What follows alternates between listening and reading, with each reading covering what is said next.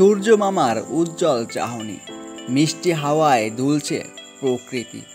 এ যেন এক অপরূপ সৌন্দর্যের লীলাভূমি। বৈচিত্র্যময় বাংলাদেশের রূপময় সবুজ প্রকৃতি। সবুজ শ্যামল প্রকৃতি, নীল আকাশ আর সাদা মেঘের লুকোচুরি আহ, কি যে মধুর সময়। রৌদ্র বাতাসের শোভা প্রকৃতির সৌন্দর্য রাজা। পাখির গানে সুর, প্রহরে শান্তির ছায়া।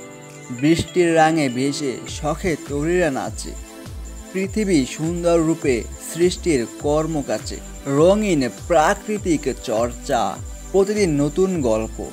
এই দৃশ্য মন ভরে অদ্ভুত বৃহত্তর প্রাপ্ত। রৌদ্র বাতাসে সাজা প্রকৃতি এক কবিতা। আমার মনে জাগায় এই অদৃশ্য সুন্দর পৃথিবীর বৃহত্তর গল্প।